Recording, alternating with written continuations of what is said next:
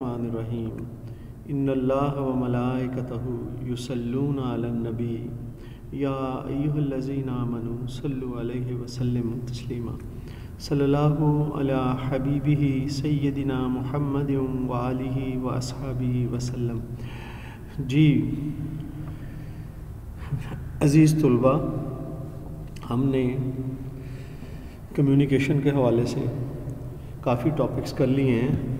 आज हमारा जो टॉपिक है, ये है जी एलिमेंट्स ऑफ़ कम्युनिकेशन कि कम्युनिकेशन में कौन कौन से अनासर होते हैं कौन कौन सी चीज़ें होती हैं। अगरचा के प्रोसेस ऑफ़ कम्युनिकेशन में आलमोस्ट इन तमाम चीज़ों का ज़िक्र हुआ है। लेकिन एलिमेंट्स ऑफ़ कम्युनिकेशन के हवाले से क्वेश्चन अलहदा से एग्ज़ामिनर पूछ लेता है तो हम इसमें से भी गो थ्रू होते हैं। बिस्मिल्लाह करते हैं। बिस्मिल्लाह एलिमेंट्स ऑफ़ कम्युनिकेशन, जो जी कम्युनिकेशन का प्रोसेस होता है ना, जब प्रोसेस ऑफ़ उसमें जो स्टेप्स होते हैं, वो कह वो हमने पहले आपको पता है कि डिस्कस कर लिए हुए हैं। और वही स्टेप्स में जो मुख्तलिफ़ हमें अनासर चीज़ों का पता चला है, जो कि इस प्रोसेस के अंदर इन्वॉल्व होती हैं, शामिल होती हैं।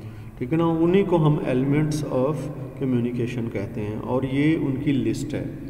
सबसे पहले सोर्स ठीक है ना? सोर्स हम भेजने वाले को कहते हैं। मैसेज ये कल हमने उसमें पढ़ा कि मैसेज के हवाले से प्रोसेस में भी चैनल मीडियम ये भी पढ़ा रिसीवर को भी। इफ़ेक्ट इफ़ेक्ट जो है, ये नहीं देखा था, आज देखेंगे। ये वो रवैया होता है जो कि, जो रिसीवर होता है उसका, अभी हम इसको डिटेल में पढ़ेंगे। और फिर फीडबैक ये भी इसमें शामिल था। ये दोनों क्वेश्चन एक दूसरे के साथ मिलते जुलते क्वेश्चन हैं। इन दोनों का मवाद जो है हम इस्तेमाल कर सकते हैं एक दूसरे के लिए। सबसे पहले हम डिस्कस करते हैं जी सोर्स को। सोर्स जो है जी बेस होती है, जहाँ से वो ओरिजिन होता है, माखज़ होता है, जहाँ से कि वो आपका मैसेज जो है आइडिया जो है, जो आगे चलता है, वो जहाँ से निकलता है ना जी, वो सोर्स होता है। और इस सोर्स को आप क्या कह सकते हैं? मे आल्सो भी नोन है सेंडर भी कह सकते हैं और इनकोडर भी कह सकते हैं। और वो क्या करता है जी? कोशिश करता है ऐसे अल्फाज चुने, ऐसे अलामत चुने, ठीक है ना? ऐसी तस्वीरें, ऐसे ग्राफिक्स चुने, ठीक है ना? वर्ड्स होते हैं अक्सर और बाज़ बात ग्राफिक्स होती हैं, तस्वीरें भी होती हैं, वो उनको चुनकर सेलेक्ट करें मैसेज के लिए। और ये जो चीज़ें होती हैं जी, ये उसका मैसेज होता है। These express the message so that the receiver will understand और इसी मैसेज को आगे जाके रिसीवर ने समझना होता है। और फिर उसको समझ कर उस पर अमल करना होता है, ठीक है ना? जो कि कहा गया है, जो कि ख्वाहिश हुई है ना सोर्स की, उसके मुताबिक रिस्पांस जो है, वो डिज़ायर करता है कि आगे जो पढ़े ना रिसीवर वो रिस्पांस दे उस पर और जी मैसेज क्या होता है? पहले भी हम डिस्कस कर चुके हैं मैसेज जो है ना जो कि कम्युनिकेशन इसी मैसेज की होती है मैसेज बनाया जाता है, फिर इसको आगे तरसील किया जाता है। बेसिकली ये क्या होता है जी? एक आइडिया होता है जो कि सेंडर जो है ना, चाह रहा होता है कि उसे भेजे या शेयर करे, ठीक है जी? और वो उसमें अल्फाज भी होते हैं और अल्फाज के अलावा तस्वीरें या सिंबल्स अलामत भी होती हैं उसमें।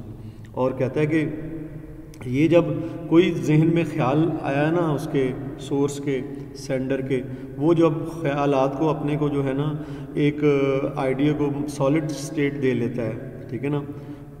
जो कि मैसेज की शक्ल इख्तियार कर लेता है, ठीक है ना? वो फिर मैसेज को जो है, वो सोर्स जो है आगे भेजता है और जब वो ख्याल को मैसेज बनाने के लिए मुंतकिल कर रहा होता है पेपर पर, उस चीज़ को हम इनकोडिंग बोलते हैं। और इसीलिए जो भेजने वाला है, हम उसको इनकोडर भी बोलते हैं। और ये मैसेज ही है, जब कन्वर्ट किया जाता है, ठीक है ना, इसका एक मतलब वाज हो जाता है। ठीक है? और जब ये मतलब अगला बंदा अगले एंड से उसको समझने की कोशिश करता है तो वो डी कोड करता है। रिसीवर जो है, उसको डी कोड करता है। और इसलिए मैसेज जो है, वो क्लियर होना चाहिए क्लियर अल्फाज में लिखा होना चाहिए और आसानी से समझ आना चाहिए रिसीवर को। चैनल जी, हमने ये भी पढ़ा था चैनल वो ज़रिया होता है मीन होता है, जिससे के ज़रिए मैसेज जो है ना, वो ट्रैवल करता है। सोर्स से ट्रैवल करता है जी सेंडर से और रिसीवर तक पहुँचता है। और चैनल जो है जी, इसमें आपका मास मैस मीडिया भी हो सकता है, जैसे newspaper radio television internet telephone वगैरह मोबाइल ये भी हो सकते हैं।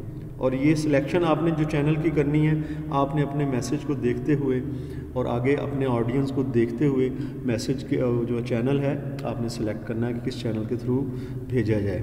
और फिर आप जब चैनल सेलेक्ट करेंगे तो आपने इस बात को भी मद्देनज़र रखना है कि कॉस्ट उस पर क्या है ठीक है ना कॉस्ट जो है, ज़ाहिर बचानी भी है और मैसेज मैसेज भी इफ़ेक्टिवली पहुंचाना है। ये सारी चीज़ें आती हैं। और ये रिसीवर कौन सा होता है? वो बंदा जो मैसेज को रिसीव करता है, ठीक है? जो कि भेजा है सोर्स ने या सेंडर ने, उसे रिसीवर कहते हैं और ये सबसे इंपॉर्टेंट एलिमेंट होता है जी।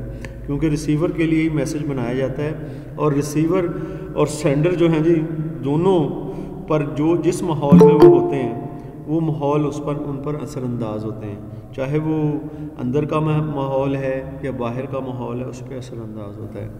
और अगर कहते हैं कि गफलत दिखा दे रिसीवर रिसीवर गफलत दिखा दे ना तो फिर कम्युनिकेशन जो है, वो बेअसर हो जाती है। ज़ाहिर है, वो हम चाह रहे होते हैं कि रिसीवर को रिस्पांस दे। जब वो रिस्पांस नहीं देगा तो समझें कि आपकी कम्युनिकेशन जो है, वो इनफेक्टिव हो गई और आगे आ गया जी इफ़ेक्ट इफ़ेक्ट होता है असर। असर किस पर?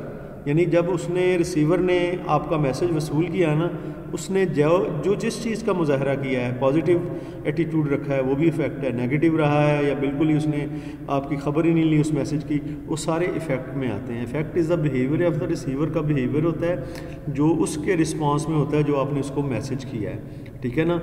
और ये रिसीवर पर ही है कि वो आपके मैसेज को इग्नोर कर दे, छोड़ दे।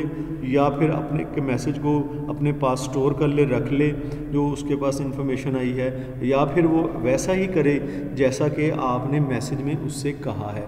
और जो ये वाला काम जो है जी, उसका क्या वो रिस्पांस देता है? ये इफ़ेक्ट होता है। फीडबैक जी फीडबैक ये होती है कि उसका असल में रिस्पांस आया क्या? आप तक पहुँचा क्या? रिसीवर रिगार्डिंग मे भी वो पॉजिटिव भी हो सकता है नेगेटिव भी हो सकता है, यानी अल्टीमेट रिज़ल्ट जो होता है, आपकी कम्युनिकेशन का उसको फीडबैक कहते हैं। ठीक है ना? इसके हवाले से कहते हैं कि आपको there may be clear understanding of the symbols of और द सिम्बल्स और मिसकम्युनिकेशन कहते हैं, आपको पता होना चाहिए कि ये ये चीज़ें जो हैं, यहाँ कही गई हैं। अदरवाइज़ फिर मिस कम्युनिकेशन हो जाएगी। दिस कैन भी आपके जो जो है ना, जो फीडबैक है, वो क्या है जी? अल्फाज में भी हो सकती है, बोलकर भी कोई दे सकता है लिख कर भी दे सकता है। Senders needs feedback in order to जब सेंडर जो है, उसको क्यों ज़रूरत होती है फीडबैक की? क्योंकि उसने देखना होता है कि वाकई क्या उसकी बात पर अमल भी हुआ, क्या वो सक्सेसफुल रहा, या फिर उसका मैसेज फेल हो गया जो उसने भेजा था। चाहिए होता है फीडबैक और फीडबैक हमें बताती है कि मैसेज जो है, ये कामयाब हुआ, इसने रिस्पांस दिया या ये फेल हो गया। जी स्टूडेंट्स ये था आज का आपका शॉर्ट सा लेक्चर और दुआओं में याद रखिएगा। इन फिर मज़ीद टॉपिक्स के साथ आपसे बातचीत होती रहेगी। फ़ी मान अल्लाह हाफ़